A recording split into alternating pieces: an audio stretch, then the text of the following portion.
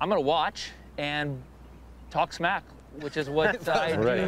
do better than play right now. So let's have at it. Like, I feel like this is an opportunity that is insurmountable for Tony and Landon to get past you two. I love you just you're just building this up for failure. It's perfect.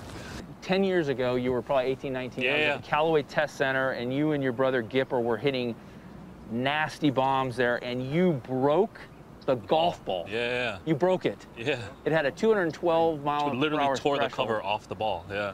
You and I Problem wouldn't is, I left my lob wedge at home. I don't have my lob wedge. How about chipping? Oh, heads up! Oh, oh. I hit that police officer right in the groin. my bad. and like laying in my room, and I didn't bring it. So we get over there. It's classy.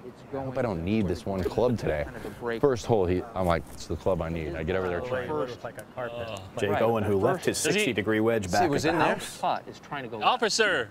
But if you Did you have a the cup hole, on? It starts to get dark. He's gonna play it off the seat. Actually, he's gonna. Uh, I'll just send. I'll just send it then.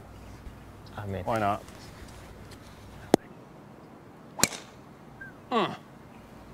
Get some. Oh my word. That's incredible. Fine. You have never been so attractive as right now, Tony. Look at that.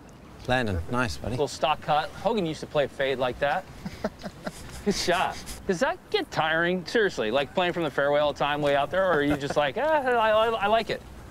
It does. So sometimes I just purposely. Like you never get to work it around trees. Oh, I do. You you look great, by the way. So you I can pour- tell you've been drinking a lot of coffee. Oh yeah.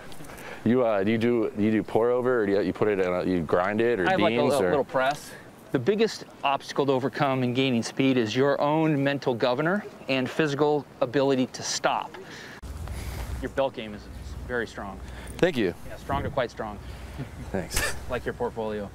No, I'm just getting texts from all my buddies. They're like sending me shot tracers of my shot, my shot in the water. Like, I mean, this is what you guys have to deal with every time you get off the golf course. Or like some of your one of your buddies you went to high school with or we something. don't really go on Twitter in between shots. Yeah.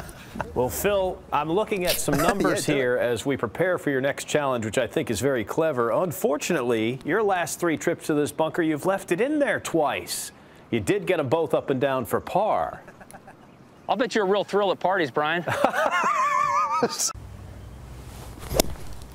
There we go. This one might stretch. Woo! Good shot, Paul. If I've gotten closest to the pin, that may be the first time in 20 years, Phil, I've got inside you on a bunker shot. I would just like to say these challenges suck. That's all.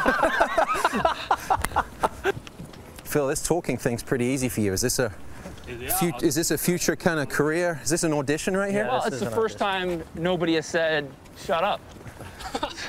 so I just keep going.